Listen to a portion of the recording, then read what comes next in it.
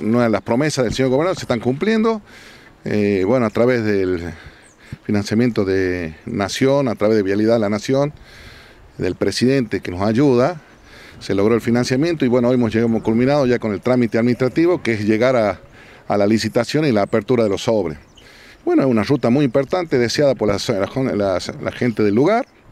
Eh, bueno, estamos muy contentos porque vamos cumpliendo los objetivos de a poco.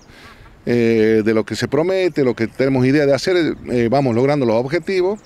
Eh, ya tenemos cuatro, cuatro rutas, vamos a tener cuatro rutas en ejecución, financiada por Vialidad Nacional, que es la ruta 3, la ruta 1, tenemos la del Tolar y ahora sale la de 7.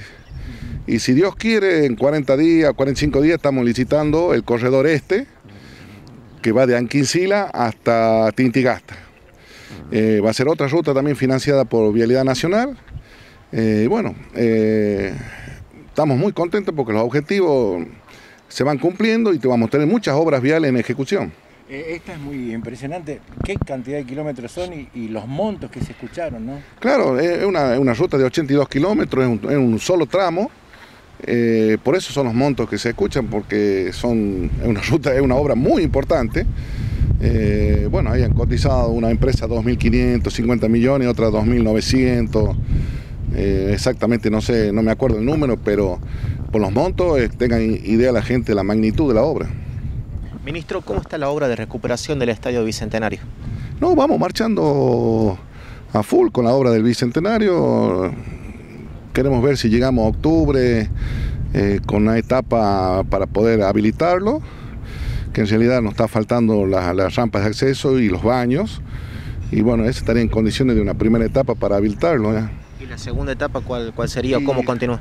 Mire, todo depende, no, no, eh, no se para.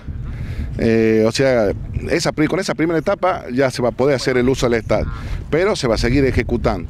Y bueno, siempre nosotros no se olvide que en obras públicas estamos a, en función de la disponibilidad de fondos. A veces dicen, bueno, está lerda la obra, bueno, a veces la disponibilidad de fondos, eso lo regula el señor gobernador con la ministra de Hacienda y en base a ello nosotros vamos regulando los ritmos de obra. Eh, ministro, ustedes tomaron intervención en el Hospital San Juan Bautista, en las cocinas. Ahora hay un grave problema en el lavadero. ¿Se piensa tomar intervención también? No, mire, eh, ese, tema lo hablamos hace como 45 días con el señor gobernador en cual nos dio las instrucciones de intervenir y comprar equipos nuevos para la lavadora.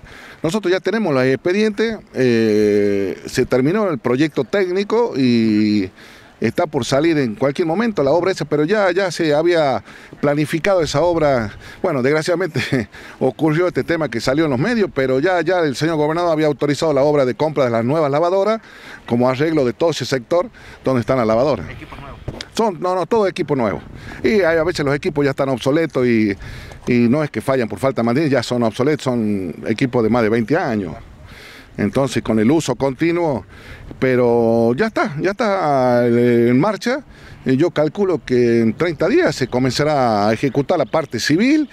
Eh, y bueno, hay que eh, comenzar con las compras de las máquinas, que es un trámite aparte pero bueno, lo importante es que el señor gobernador hace 45 días que dio la instrucción de, ya de aprobar la obra esa.